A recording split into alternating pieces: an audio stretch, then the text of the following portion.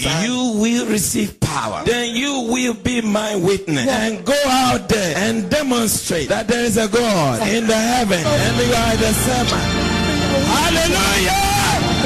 For you have come to the kingdom at such a time to wear the royal uniform, turn the glory, go before the king by the blood of Jesus and deliver your people. Come on, get up and do something. Genesis, they made oxygen before you were born so that there will be no mistake when you are alive now you have to breathe oxygen. So everything that you need has already been created. I hear no amen. Amen. The Bible says he has created everything we need, both in the spirit and in the natural, has already been created. Amen. Oh, your amen is weak. That means everything ahead of you that you need to be has already been created. Amen. The Bible says he created things visible and invisible. Invincible. Not now he's going to create them. He created them, so they've been created, but they are not visible what? Now. But in the course of time, there will be what? Visible. So when I, it's already been created, so I came to submit to you what you will be tomorrow. It's already been created. Amen. Things visible and invisible has already been created. So how are you going to miss it if you don't hear the word of God and obey it? Then you will miss it. And tell somebody, look at me very well. Tell them, look at me very well.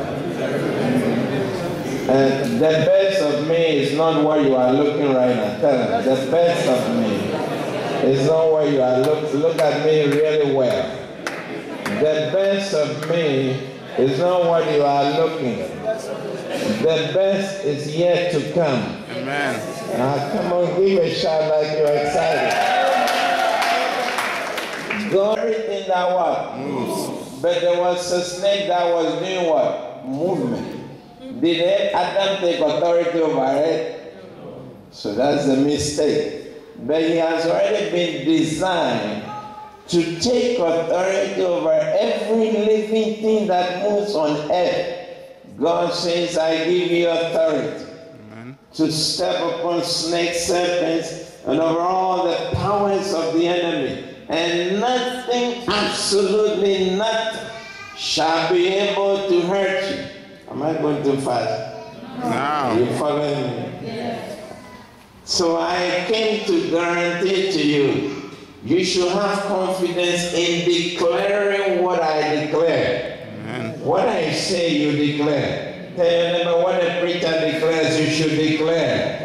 Preacher declare, should declare. Because one of the powerful things you will learn is God has spoken it, but you must confess it. Amen. You must speak it. Amen. You, you keep saying this auditorium in a year shall be full. For the place where Psalm 23 was written is a desert. But David, looking not at the things that are seen, but the things that are not seen, said, The Lord is my shepherd. I shall not want. Come on, wake up. The whole idea is this. God called a man called Abraham out of Ur of the Chaldeans. He was childless, homeless, no land, no property. And God said, Your name is no more going to be Abram, but Abraham. Ooh, I like that. They- They're calling you millionaire. Tell your neighbor they are looking at a millionaire right now. You are looking at an employer. Employer. Hello. So a little baby was born called Noah. And it means this one will deliver us from the land that has been cursed. From baby, he was called Noah. This one will deliver us from the land that was cursed. And when he was old and he sacrificed the lamb, then God said, I will no more curse the earth. Amen. for what Noah has done. There was a man in the Bible called Methuselah. It means when this one dies, it shall fall. And they didn't know they were calling long name. When this one dies, it shall fall. But when he died, then the flood, the rains came. You are designed for a purpose. Amen. Now get excited, tell your neighbor, you haven't seen the best of me yet. You haven't Uhuru na one to one zuri. Oh, hallelujah. The beautiful ones, uh, you, you speak little Kigali, Swahili, you don't speak Nemaya Bwana. Oh no, one day we'll take you there. So the whole idea, I like your theme, transformer. That let's look at the word. You know, you know the word commonly it's called transformer, a little electrical gadget that you put in so that the power will not be high, it will come to 220. I remember when I was coming from the US, I bought many equipment that ran on 110. and sometimes the children in the house, they don't know, and they just go and block it, especially the sound instrument. Then the whole thing will blow out, okay? But now you have equipment. You just need a transformer, a renewing of your mind. Then you can enjoy the benefit of that equipment. Another word is change, change. You know, that word has become political word. You want one story?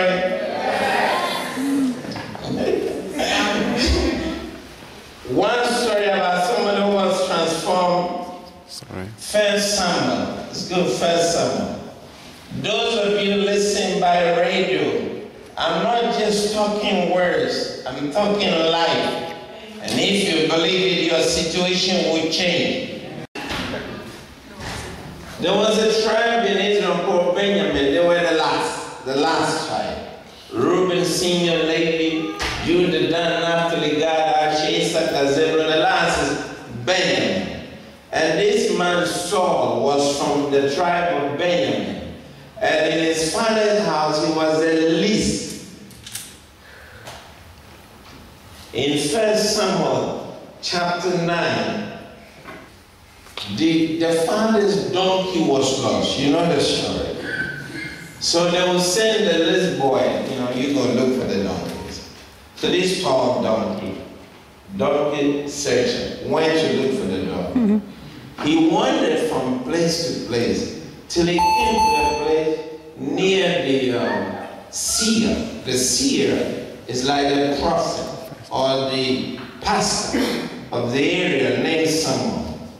Verse 9 it said to him, Look now, there is in this city a man of God, and he is an honorable man. All that he says surely comes to pass. So let's go to him. Perhaps he can show us the way that we should go and find our donkey. You are in the right place tonight. I hear. So every time you come to church, you say, I'll hear a good word today. I'll get some answer.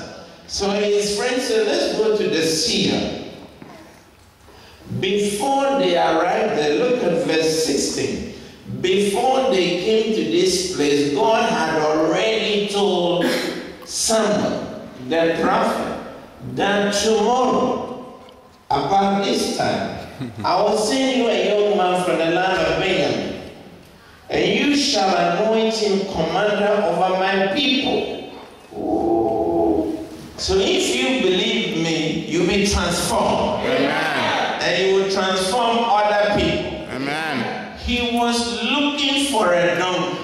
That's naturally what he was looking for. You may be here looking for a degree. You may be here looking for a few pounds. You may be here looking for healing. Whatever brought you to Europe you are looking for, you will find that one. Amen. Amen. But in addition, in addition, you get good measure, pressed down, shaking together, and running over.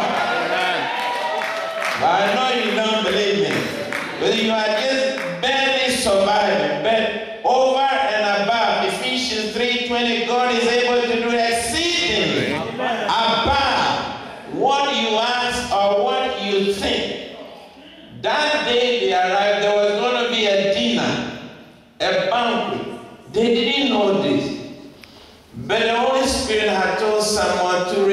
the thigh. The big one, not the bones. oh. If in London, yesterday, I was in the street. The street you buy a pound of meat, you will get cow legs free.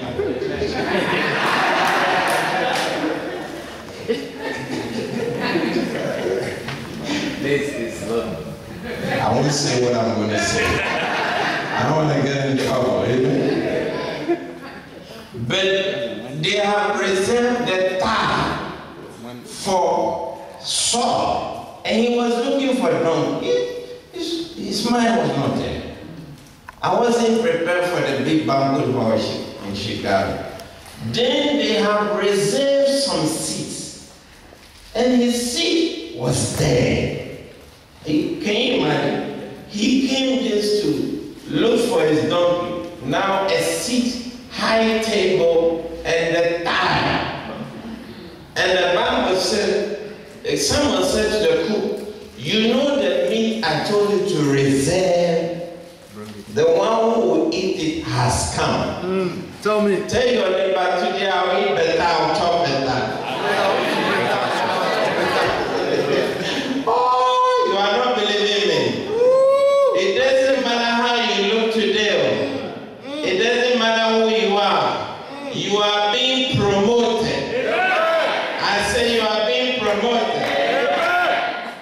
Now, when they sat to eat, hmm, and they were telling all these good things to Saul, he said in 1 Samuel 9, verse 21, and Saul answered and said, Am I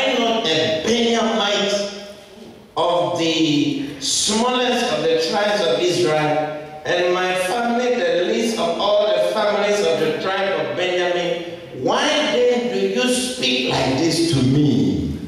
Why are you giving me this big food to eat and big food that I will be anointed and will become a commander? Tell your neighbor, you don't look like it, but you are them royal priest. Tell your wife you are a queen.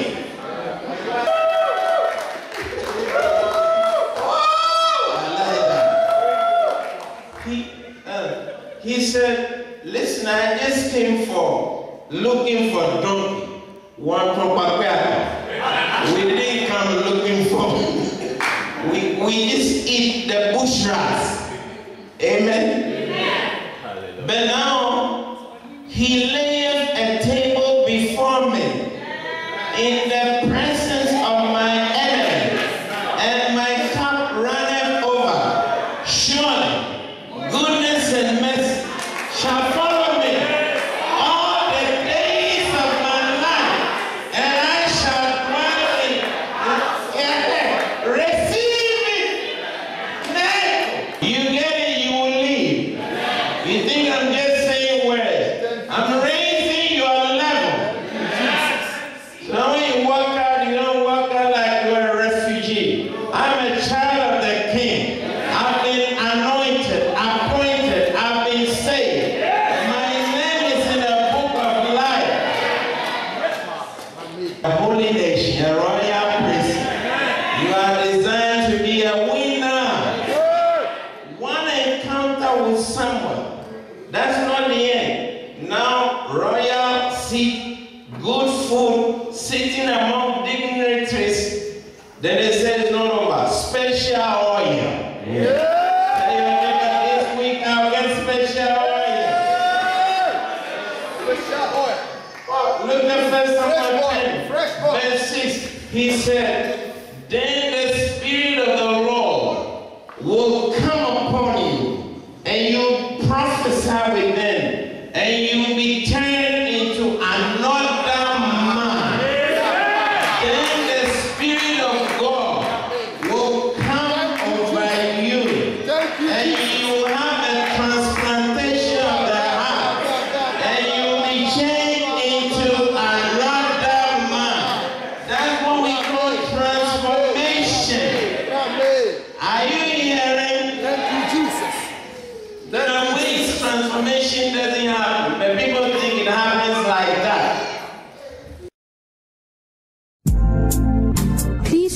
locally for any Manna Mission Church in your area and invite your friends to listen. Until then, remember that man shall not live by bread alone, but by every word that proceeds out of the mouth of God. May God richly bless you, and he will in Jesus' name. Amen.